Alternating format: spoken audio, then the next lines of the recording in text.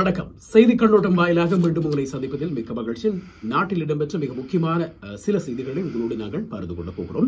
நாடாளுமன்ற அமர்வு மீள ஆரம்பிக்கப்படும் போது ஜனாதிபதி நிகழ்த்தவுள்ள கொள்கை பிரகடன உரை தொடர்பாக சபை ஒத்திவைப்பு வேளை விவாதத்தை நடத்துமாறு முன்னாள் பிரதமரும் ஐக்கிய தேசிய கட்சியின் தலைவருமான ரணில் விக்ரமசிங்க சபாநாயகரை கோரியுள்ளார் ஜனாதிபதியால் தற்போது நாடாளுமன்ற அமர்வு இடைநிறுத்தப்பட்டுள்ளது. நாடாளுமன்ற நடவடிக்கைகள் எதிர்வரும் பதினெட்டாம் தேதி மீள ஆரம்பிக்கப்பட உள்ள நிலையில்தான் முன்னாள் பிரதமர் ஐக்கிய தேசிய கட்சியினுடைய தலைவர் ரணில் விக்ரமசிங்க இப்படி ஒரு கோரிக்கையை முன்வைத்திருக்கிறார்.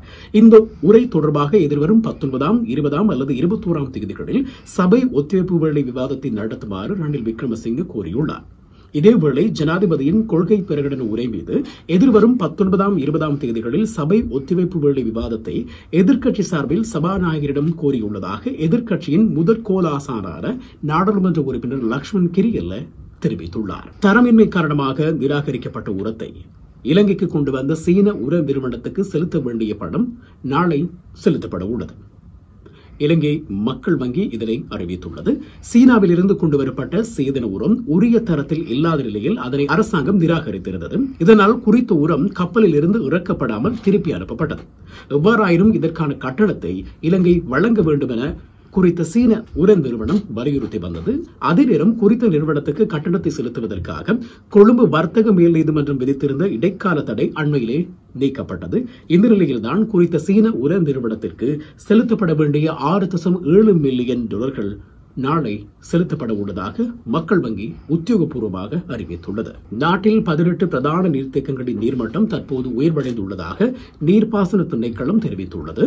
இந்த நிலையில் மகாவலி கங்கை மல்வத்துவோயா மற்றும் மட்டக்களப்பு முந்தேனாறு ஆகியவற்றுக்கு அருகாமையில் வசிப்பவர்கள் மிகவும் அவதானமாக இருக்க வேண்டும் என இலங்கை நீர்ப்பாசன திணைக்களம் அறிவுறுத்தியுள்ளது.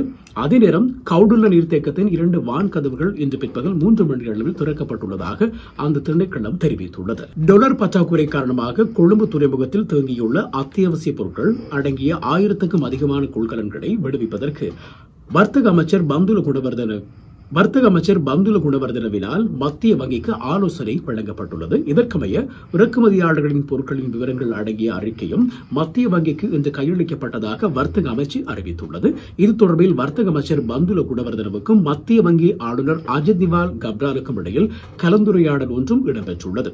இதன்போது இறக்குமதியாளர்களுக்கு அவசியமான டாலரை நாளைய தினம் விடுவிக்க தீர்மானிக்கப்பட்டுள்ளதாக வர்த்தக அமைச்சு குறிப்பிட்டுள்ளது. செய்தி கண்ணோட்டம் வாயிலாக நாங்கள் பகிர்ந்து கொண்ட மிக முக்கியமான செய்திகள் இவைதான். மீண்டும் சந்திக்கலாம். நன்றி. வணக்கம்.